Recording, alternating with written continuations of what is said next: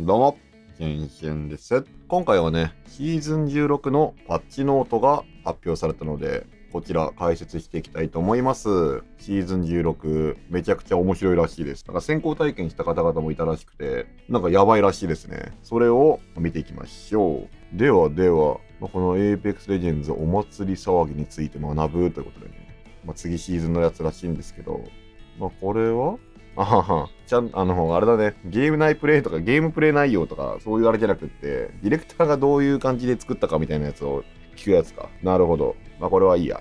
うん。こっそり覗き見くださいって書いてあるから。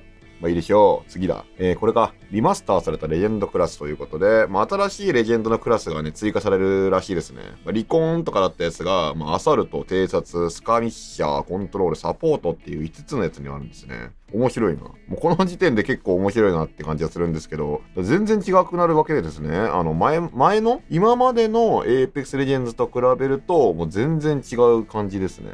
うん。その、だから新しいレジェンドを導入する代わりに、このクラスっていうものがね、増えるってことか。へえー、すごいな。絶対面白いじゃん。うん、なんかね、チームメイトを復活させる新しい方法。えー、なんか違うものがあるってことか。あ、じゃあ全く変わる。ええー、面白そう。すげえな。全然違くなるんだ。で、次、チームデスマッチ、ローテンションモードの、えープレイリスト、そして新しい武器。えー、新しい武器出るんだ。あー、なんか、ネメシス、ネメシスっていうなんか武器が出るって書いてあったわ。しかもエネルギー武器らしいんで、超楽しみ。えー。えー、と、R301 やフラットラインのようなお気に入りのスタンバイを敵から外す可能性があることを期待しています。ということは、つまり、このネメシスはそれぐらい強いってことか。ハボックより強かったらいいななんかそろそろなんか新しい武器来ねえかなと思ってたんで、これは素晴らしいんじゃないかと思います。なんだっけ？あれなんだよな。なんか、AR が弱体化入るみたいな書いてあったんで、腰打ち制度だったかな。が弱体化入るらしいんで、ちょっとハボックを近距離で使うのは無理になっちゃうかもしんないね。残念。まあでもその代わりにこのネメシスっていう武器を使えるようになればいいのか。楽しみだな。なんかいろいろあるな。ネメシスボルトとかでもありだもんか。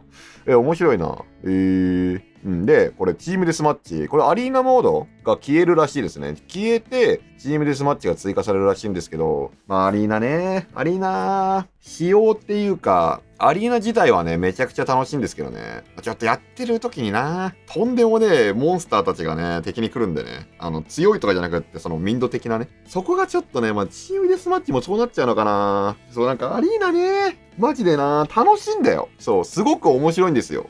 面白いんだけど、怖いよね。うん、まあでもそれが、えー現在の状態ではそのアリーナはね、目標達成してなかったので、消しちゃうという話らしいですね、こちら。うん。シーズン最初の3週間にできる、3週間に利用できるチームデスマッチは、えコミュニティから最もリクエストの多かったのえー、そうなんだ。一番なんか、これが欲しいって言われたのモードらしいですね。まあ俺も、なんかチーデスみたいのがあったら絶対面白いのに、みたいな話してたんで、またプレイヤーから常設モードのプレイリストが欲しいという声も寄せられており、ミックステープをリリースすることを発表できることを嬉しく思います。えー、だからチームデスマッチってあれか、コントロールモードみたいなもんか。TDM、ガンラン、コントロールのローテーションをと、え、あ、じゃあ面白いって言われたら、モードがミックスで出るみたいなイメージ？ローテーション、あ、え面白い。すご。今まで、だから練習場所がないから困ってたんだけど、それが出るってことか。ここら辺に関しては結構エペモバの方なんか引き継いでる感じがしますね。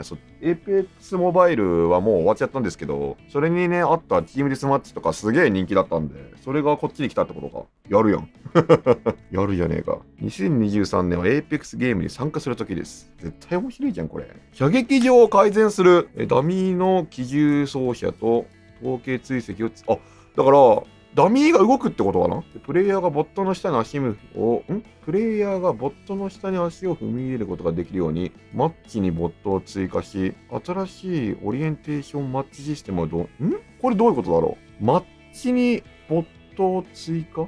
Orientation Matches の目標は新しいプレイヤーが自分の方向性を把握し、え、これさ、練習できるようになるってこと？あ、書いてあるわ。主にボットに対していくつかのオリエンテーションマッチプレイができますって書いてあるから、これ、だからコンピューター戦ができるってことかな？だとしたらすごくない？これ普通に。だから、あれだよね、本当に Apex モバイルの方にあったものがこっちに来るっていうイメージだな。そう、これあったんですよ。あっちには。で、逆輸入してくれよみたいな話をずっとしていたやつがこっちに来るっていう感じですかね。えー、面白。すごいな。多分ね、わかんないけど、これ見た感じだとそう読み取れるというか。えー、っと、アニバーサリーコレクションイベント。あれ、またコレクションイベント来るんだ。すごいな。4周年だから来るらしいけど、アッシュのロック解除。アッシュ？アッシュなんだ。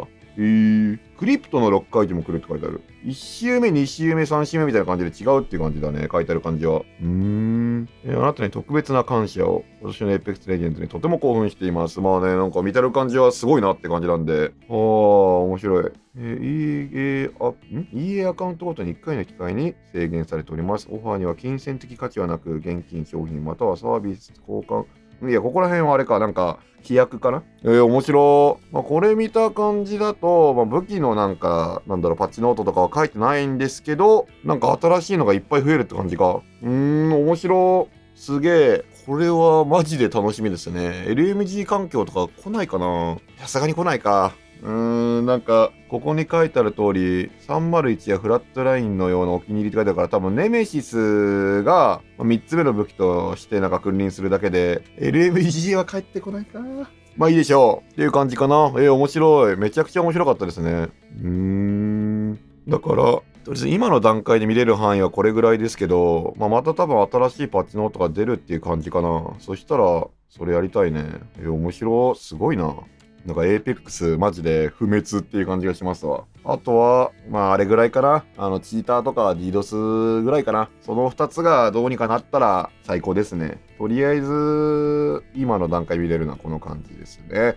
はい、ということでね、終わりたいと思います。次のシーズンめちゃくちゃ楽しみですね。全然違うって感じだね。あの、今の Apex Legends とは。もうなんか、ゲームそのものが変わるんじゃないかっていうレベルで変更入りそうで面白そうです。ではでは、見てくれた方ありがとうございます。チャンネル登録、高評価、通知をオンにしていただけると嬉しいです。Twitch でね、毎日生配信していますので、ぜひフォローしていただけると嬉しいです。お疲れ様です。じゃ、またね